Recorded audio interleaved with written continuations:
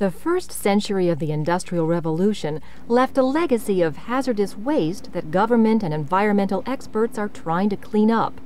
Hazardous materials and waste technicians are at the forefront of this effort. Some hazardous waste technicians work on site. Others work in a hazardous materials center called a hazmat facility. There, they perform a variety of tasks, including transportation, treatment, and storage of hazardous wastes hazardous waste technicians must have specific and detailed training to get a hazardous waste worker certificate.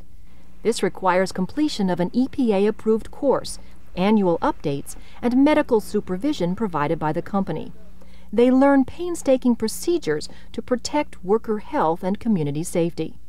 A high school diploma or equivalent is the minimum education in this field increasingly sophisticated equipment, complex processes, and scientific techniques may require further education.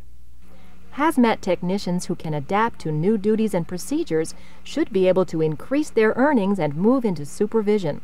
Above all, the hazmat technician knows he or she is helping to make the world cleaner for future generations.